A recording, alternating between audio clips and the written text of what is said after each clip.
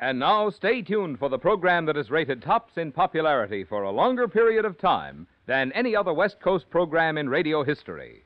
The Signal Oil program, The Whistler.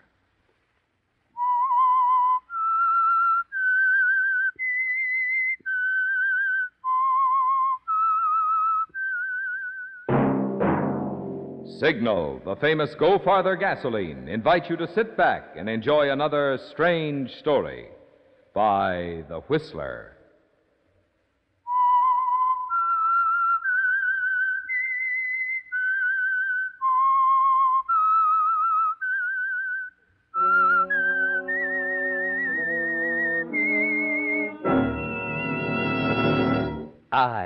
Am the Whistler, and I know many things, for I walk by night. I know many strange tales hidden in the hearts of men and women who have stepped into the shadows. Yes, I know the nameless terrors of which they dare not speak. And now for the Signal Oil Company, The Whistler's strange story Element X.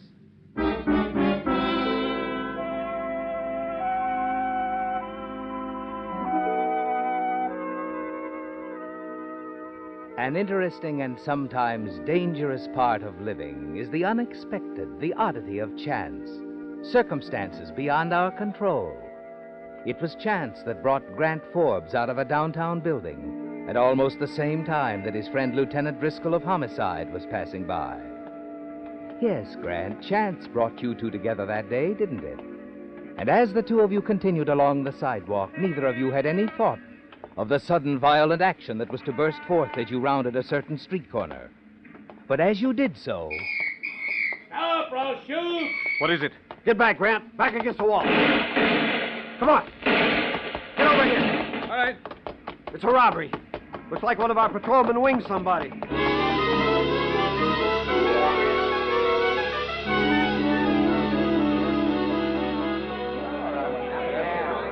All right, keep back, folks. Get back. Give the officer a chance. What's it all about, officer? Huh? Oh, Lieutenant Driscoll. Hold up, sir. And somebody called you in time? No, nobody called me. Funny thing, I didn't even realize what was going on. Just happened to wander into Mr. Reynolds' store to get some cigarettes. This guy turns up, starts to run out, and Reynolds yells. We heard the rest.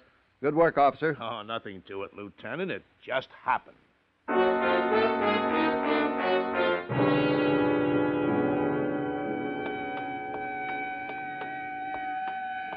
You know, it's a funny thing, Grant. What's that? I don't know if it happens in your law cases, but the way that holdup artist got caught, I call it Element X. How do you mean? Element X, the unexpected, the surprise. Like the way that cop walked in on him. Exactly. Or sometimes maybe it's a woman who happens to be looking out the window, talking to a neighbor. She gets a look at a license plate and notices the color of a car. Yeah, I'd rather be on this side of the law. Oh, I don't know, Lieutenant. Element X can be taken care of, figured out. Hmm? These hoods ought to consult a good lawyer first. Instead of later, huh? Yeah. no, Grant, I've seen it too often. You can't beat the unpredictable. It's what I always look for in a case. Here's my car. Drop you someplace, counselor? Counselor. That's a laugh. I haven't counseled three people in the last month. Come on, hop in. Uh, no, thanks, Lieutenant. Maybe that wounded guy back there is a possible client. Oh, cut it out, Grant. Things aren't that bad. Anyway, we got him nailed. Yeah, I suppose.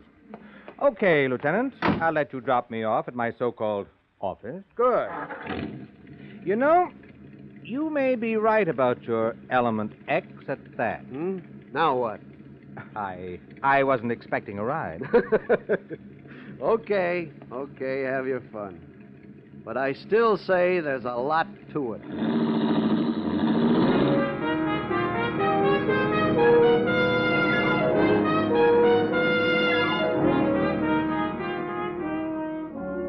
it was many weeks after you talked to your friend, Lieutenant Driscoll, wasn't it, Grant? Yes, and they were weeks that seemed like months. And then came that phone call that was to make so much difference. Um, uh, what, what was that name again? Markham, uh, Floyd Markham. I'd uh, like for you to drop out here to Malibu, Mr. Forbes. Uh, discuss a certain uh, domestic matter. You won't be in town the next few days, Mr. Markham? Look, Forbes, if you'd prefer that I contact another attorney. Oh, no, no, no. I- I'll be there. Malibu, you say? That's right. You know the turnoff just past sunset? Yes, I do. Uh, my place is all by itself, just past that signal oil station on the beachfront. Red cottage, flagstone front. It's called Surfside. You'll be here? I'll be there. Tonight, please. Ten sharp. Tonight, 10 sharp. Check.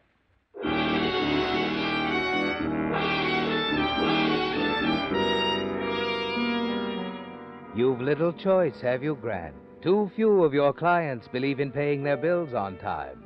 And Floyd Markham sounds like a man with a problem and a man with money.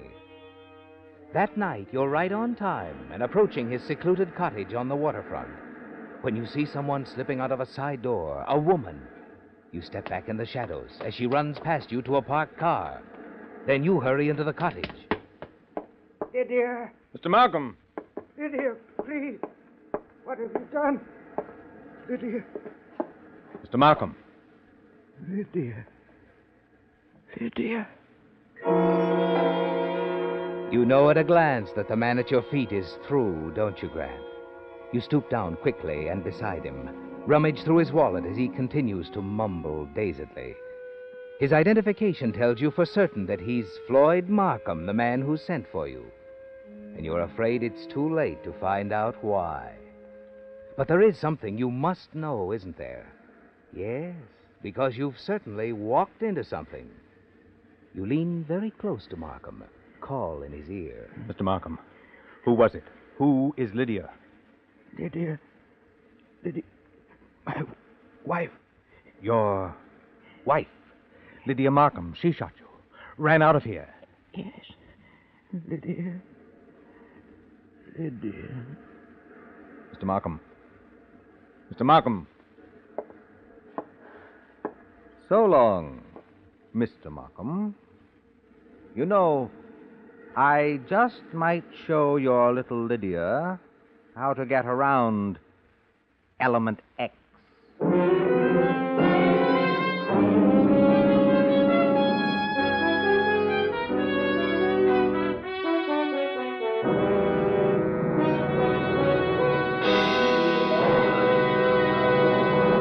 Are you a missing driver? I mean, a driver who is missing something? You are if you're not powering your car with Signal, the famous Go Farther gasoline. One thing you're missing is that good mileage, which has made Signal gasoline known throughout seven western states as the Go Farther gasoline. But equally important, you're missing the clean cut, efficient performance which makes Signal's good mileage possible. You see, such good mileage is only possible because Signal gasoline helps your engine run so efficiently you save gasoline three ways. One, you save gasoline with Signal's quick starting. Two, you save gasoline with Signal's smooth, obedient pickup, free from balking and hesitation. Three, you save gasoline with Signal's lively power that gets you into high gear fast, helps you stay there with a minimum of shifting on hills or in traffic. So you see, there's no need to go on missing either economical mileage or satisfying performance. They're like birds of a feather, they go together. You can enjoy both by filling up with Signal, the famous Go Farther gasoline.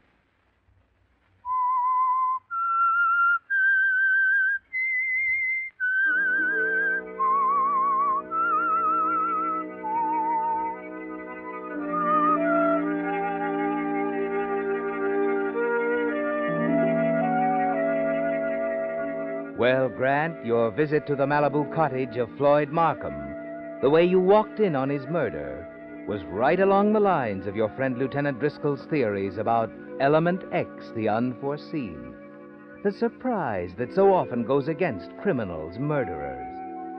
It would go very badly now for Lydia Markham, too, wouldn't it? If you decided to play on the side of the lieutenant. But you haven't decided it that way, have you? No. Instead, you let a week go by.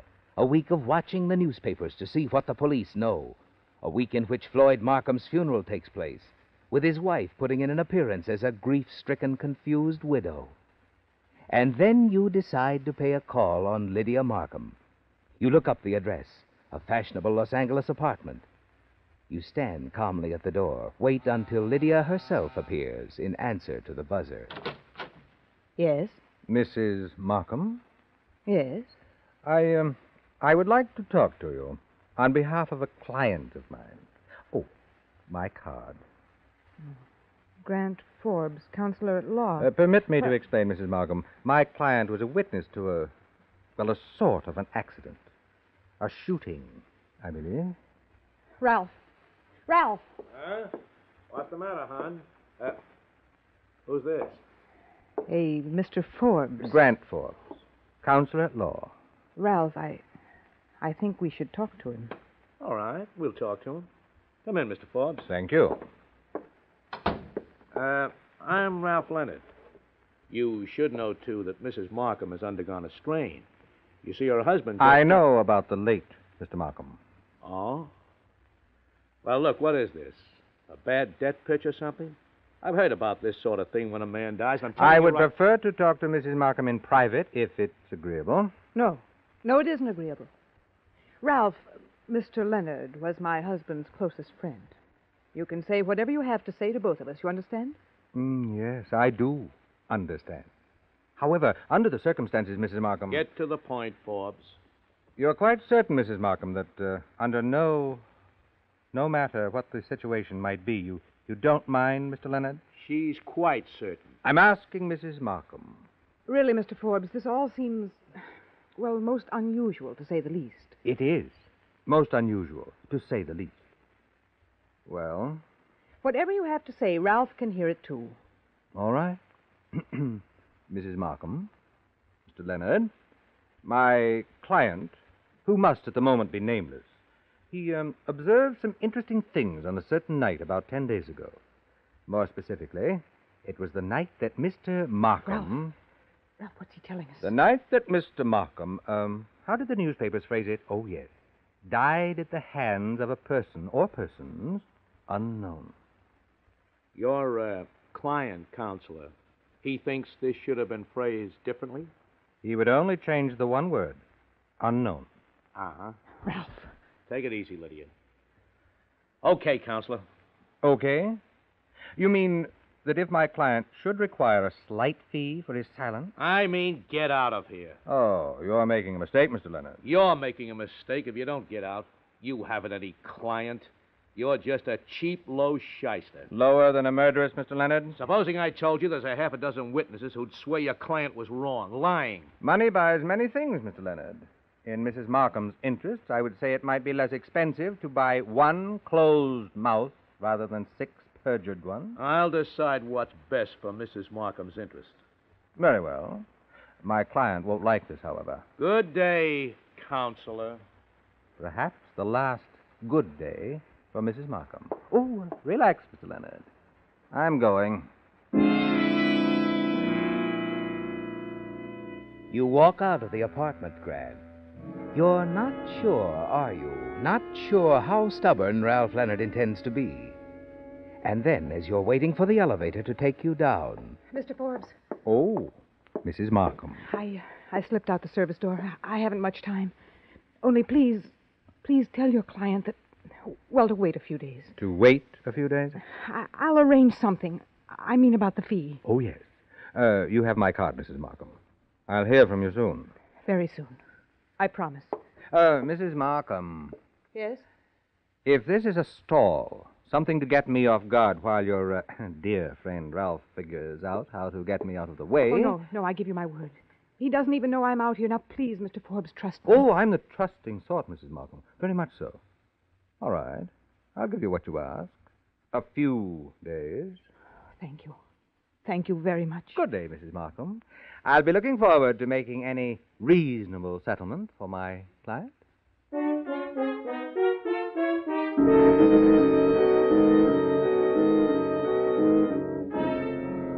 Riding down in the elevator, you feel better about it, don't you, Grant? Ralph Leonard is a little on the rough side and rather impulsive. You find out exactly how impulsive early that evening as you park your car and start down the street toward your apartment. The shots spatter into the building wall beside you. You fall quickly to the ground. As you look up, a car with Ralph Leonard at the wheel swerves wildly around the corner. And as you get to your feet, you realize grimly that Ralph Leonard has decided to make certain of your silence, however drastic his method. You're afraid to return to your office, and you decide it would be unwise to stay overnight in your own apartment.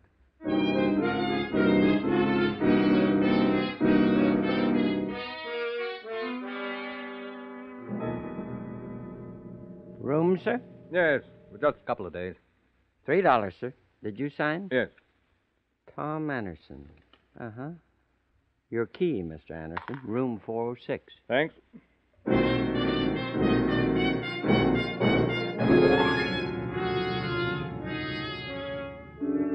It's all you can do for the present, isn't it, Grant? Hide in a cheap hotel room under the name of Tom Anderson while you think things out. Ralph Leonard is a problem, isn't he? A serious one. He's out to kill you, to protect Lydia Markham, and perhaps her money as well. But the following day, you hit upon a neat and simple plan for eliminating Ralph without risk to yourself.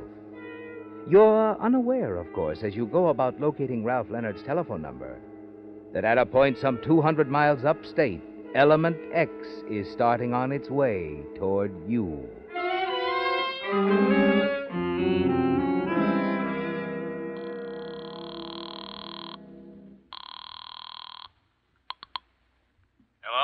Mr. Leonard, Yes, who is this? this is your friend, the counselor, remember? Oh, yeah. Yeah, I remember. I'd like to make a deal, Mr. Leonard. Look, I told you we're a not A deal interested- between us. I'm talking about a partnership. A partnership? Right. You play ball with me, and we can make ourselves a little money. Go on, counselor. You interest me. Mrs. Markham need never know your part in it, Want me to make things easy for you, is that it? and we split the profits. Well, Now, look, I told you as far as I was concerned. You... yes. Uh, suppose we get together and sort of talk this over, huh? Fine. I'll pick the spot. Call you back later. Good, good. I'll be here at my apartment, counselor. You smile, don't you, Grant, as you hang up the receiver? You know what Ralph Leonard is thinking, what he's planning. Because he believes you're stupid enough to meet him at a quiet rendezvous where he can do his talking with a gun. You hurry out of the hotel room, get into your car, and drive to Lydia Markham's apartment.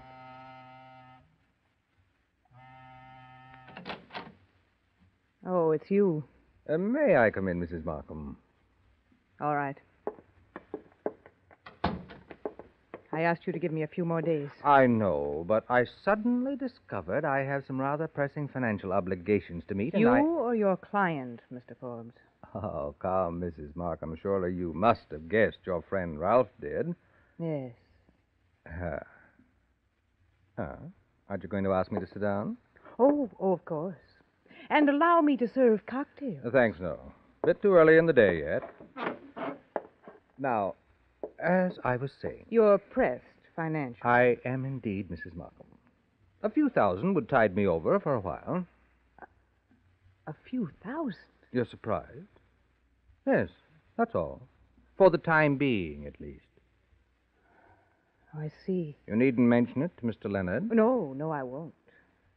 But, uh, well, I don't have the money here now. Can you come back tonight? If you don't mind, I'd rather we met somewhere else. Mr. Leonard won't be here. I'd rather we met elsewhere. All right. I'll phone you later. Tell you where. I see. Well, now, if there's nothing further. Uh, there is. Oh? I think I will have that martini after all.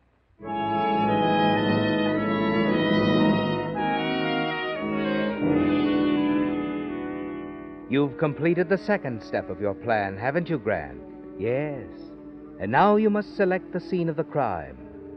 After you leave Mrs. Markham's apartment, you drive back downtown. And only a few blocks from your hotel, you find the perfect setup a dark, quiet street in the factory and warehouse district. Still unaware that Element X, moving relentlessly toward you, is now less than 50 miles away.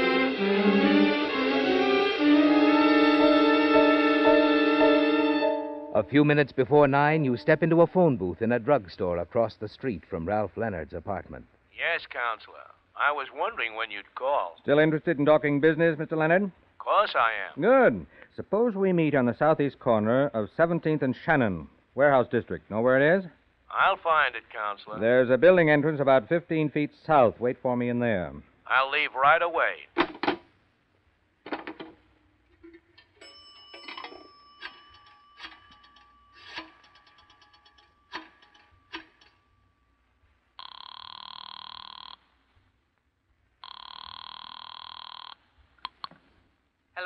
This is Grant Forbes, Mrs. Markham. Oh. I have the money. 3000 Ah, I'm afraid that's not enough. What? But you said. I know. That was this afternoon. Now I need 10 grand. Ten. Ten thousand? But. That's right. But where can I get that kind of money at this time of night? Be reasonable. You look, you've got jewelry. Well, yes, but That'll do till tomorrow. tomorrow. When your bank opens, you can get me the rest of the 10,000. You might as well get used to this. Yours was a very expensive murder, baby. Yes. Yes, wasn't it? Oh, and if you're thinking of calling your boyfriend, Mr. Leonard, when I hang up, don't bother. He just left his apartment building. You think of everything, don't you? I do. He thinks he's got a date to meet me. While he's waiting up in Hollywood for me to show, you'll be meeting me somewhere else. Oh, please, please listen to me. Give me a I'm sorry. But please, please. Save it, sweetheart. Meet me in half an hour, or I'll write a little letter to the police. Oh, no, no, don't do that. Half hour. That's all you have. I'll be waiting at the southeast corner of 17th and Shannon. There's a building entrance about 15 feet south of the corner. I'll be standing in there. You've played the part perfectly, haven't you, Grant? Yes. And the trap is set. Mrs. Markham is desperate now, isn't she? Yes, she's killed before, and you're certain you've driven her to the point where she'll kill again. You hurry to your car, start toward the scene of the rendezvous. While only a few miles away now, Element X is moving toward 17th and Shannon. But you've forgotten all about Element X, haven't you, Ralph?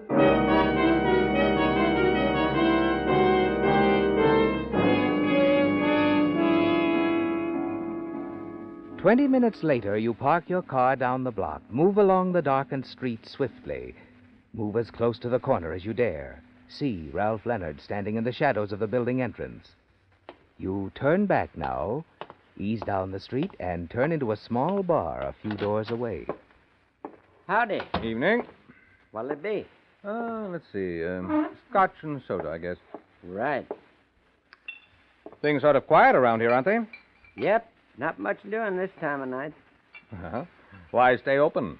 Oh, business picks up later when the shift from the factories get off. A lot of the boys come in for a beer. Oh, I see. Here you are, sir. Thanks. Uh, have one on me? Well, okay. Don't mind if I do. Beer's my drink. Well, here's cheers. To success. Oh, yeah. Ah. Hey, what's that? Sounded like shots to me. It sure did. I'd say we'd better have a look, huh?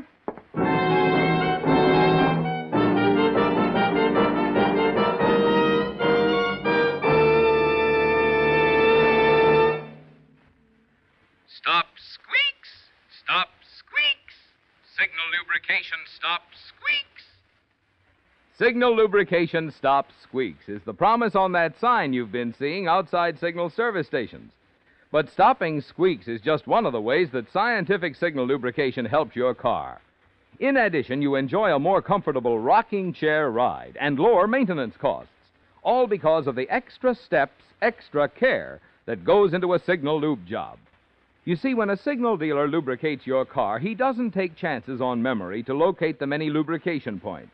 Instead, he follows Signal's lubrication guide, in which the manufacturer of your car clearly shows every lubrication point and clearly specifies which of Signal's scientifically engineered oils and greases each point needs for longest trouble free service. Finally, before delivering your car to you, Mr. Signal Dealer checks each point again, just to make double sure not a single part is ever overlooked. That's why we say if you want your car protected by lubrication you can really have confidence in, get your next lube job where you see that sign. Signal lubrication stops squeaks. Stop squeaks. Stop squeaks.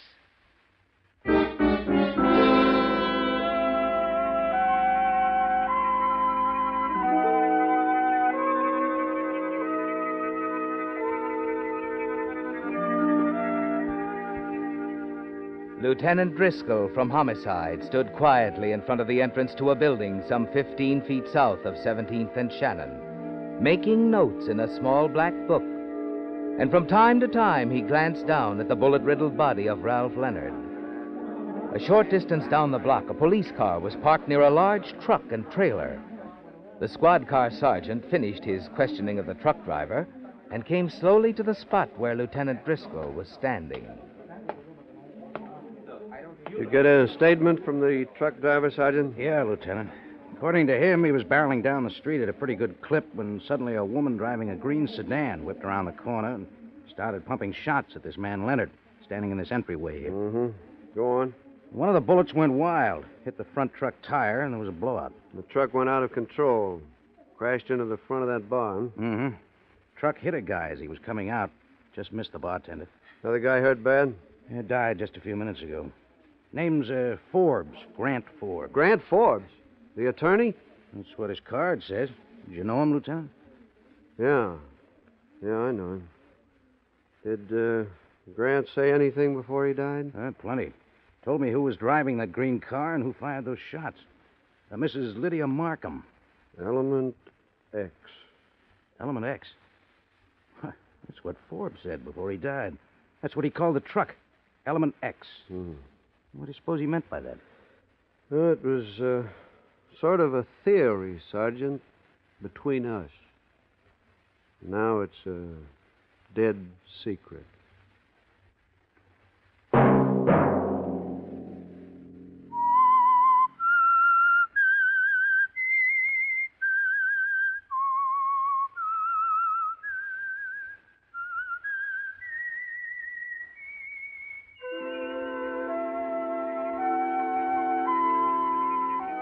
Let that whistle be your signal for the Signal Oil program, The Whistler, each Sunday night at the same time. Meantime, Signal Oil Company and the friendly independent dealers who help you go farther with Signal gasoline hope you'll remember. Regardless of what gasoline you use, you'll enjoy more miles of happy driving if you drive at sensible speeds, obey traffic regulations, and avoid taking chances. You may even save a life, possibly your own.